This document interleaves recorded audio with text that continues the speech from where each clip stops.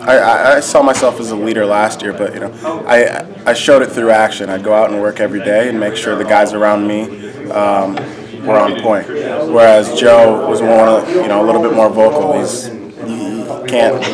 He, it's Joe Schmidt, so he was the vocal guy. He's making sure everybody was on point, and he's great at that. So yeah, I think just stepping up and being more, um, recognizing that I need to be a little bit more vocal, but the transition went smoothly, and I feel comfortable now.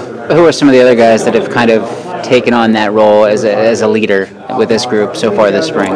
Defensively, I think you know myself, Isaac, uh, Cole, Luke. Um, secondary wise, Max Redfield, um, and then offensively, which I don't get to touch as much, but McGlinchey for sure. Him and I have talked about some things, and um, there's a bunch of guys in my class that are, you know stepping up and really want this team to be great. So.